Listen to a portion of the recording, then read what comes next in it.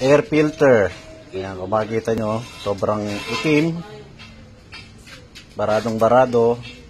Isang sign to ng ah, mahina yung hatak. So, hindi nyo makuha yung power ng sasakyan nyo dahil dito sa air filter. Ayan, barado na rin siya. And then, kung makita nyo, may sign na ngat-ngat ng bugwit. Napapasok na rin to ng mga bubwit.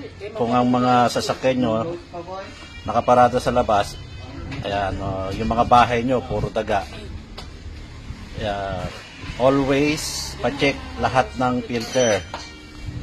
Dahil isang kosto ng low power ng sasakyan at nagkokos din to ng ah, pagkasira ng unit dahil uh, mapupersa yung sasakyan nyo gusto nyo kunin yung power pero hindi nyo makuha dahil nga barado na yung air filter kaya make it sure na regular na napapacheck yung mga sasakyan nyo at lahat ng mga filter Yan. huwag tayong magkakampante na kahit bagong palit wala pong imposible sa mga bubwit yan, yung pirapirasan nyo, napupunta yan dun sa may ah, turbo.